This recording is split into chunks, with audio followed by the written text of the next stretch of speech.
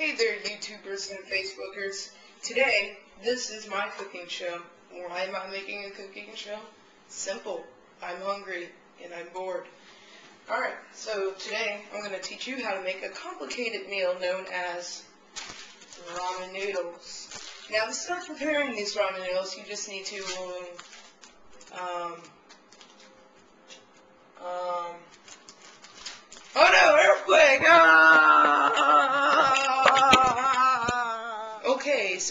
the earthquake, I asked my mom, I mean, uh, Rachael Ray, if how to how to make ramen noodles, and she told me first you need to wash your hands. Okay, so we're gonna wash our hands. So in order for that, we gotta turn the water on.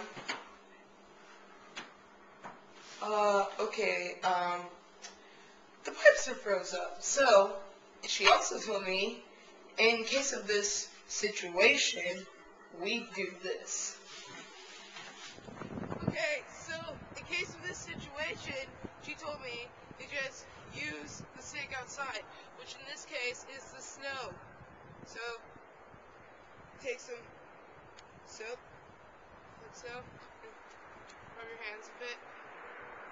Then you just wash your hands like any other day. Your hands may freeze or start to fall off, but that's okay. That's what it's supposed to do.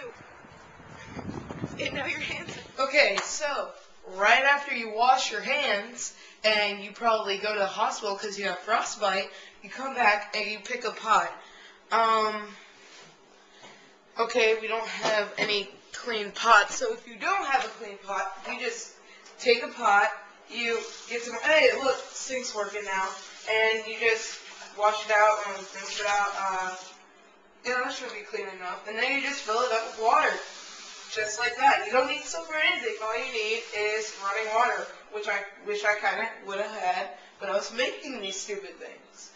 Alright, when I was washing my hands. So. Okay, guys, so in this part, this is where you actually start to make them. So what you need is about, uh, you know, I'm not good at measurements, so I'm going to say about that is three gallons of water. You need three gallons of water, and you just put it on. Know, you want to make this as uh, fast as possible, so you just go ahead and put it on high. And then you sit here and wait.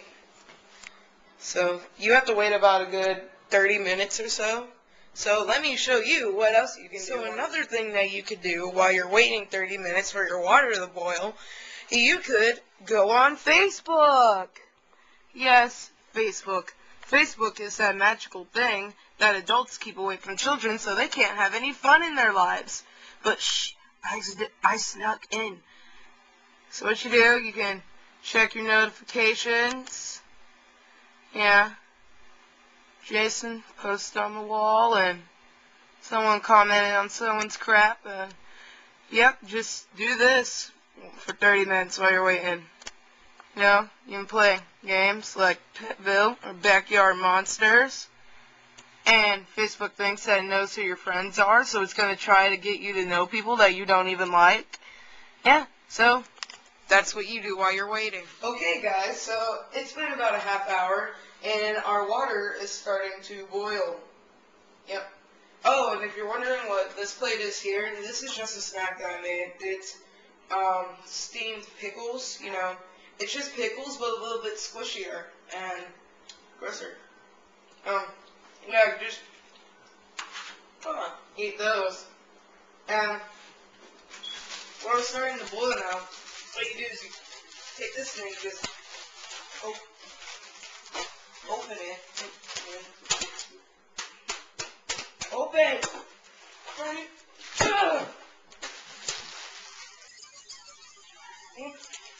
Oh, there it goes. So then you just simply open it, and you just throw it on in there. And then you take this powder stuff. It's chicken flavor. I think it's just like the little hair stuff. Yeah. Like the little flakes that come out of your hair. Yeah, it's just that of a chicken, and that's why it's chicken flavored. And so you just pour that in there little chicken. hair stuff. And then you should find a fork. And now I'm going to show you how to find. Okay, so when you're looking for a fork, this is what you want to do. You want to walk over to your drawer, like so. Then you want to open it like this. Then you look around, and there is no fork in here. So this is what you do. You go over to your dishwasher, and hopefully your sister did the dishes like she was supposed to. Oh, and it doesn't look like they're clean. So what you do is you take a fork, a dirty fork like this, and you just do the same thing that you did with the pot.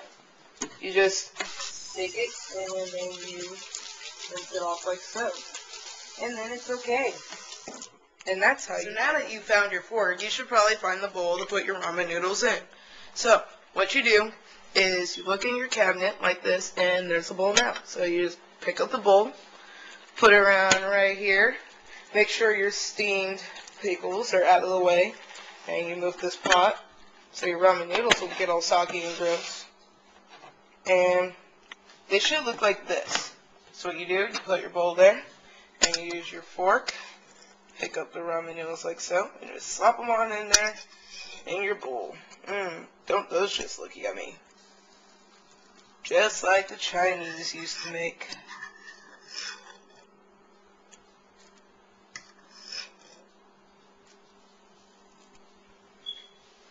And then, if you want juice, you just take the pot and pour your juice in there. Mmm. And also, if you don't like your ramen noodles in a bowl, make sure you purchase ramen noodles in the cup ramen noodles in a cup. In a cup. Their motto is, "It may save your life someday," and that is how you make ramen noodles. And then you just eat and enjoy.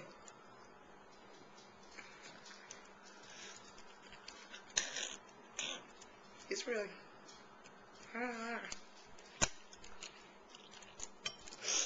Mmm. Isn't that great? So now you go home and make some ramen noodles. See ya.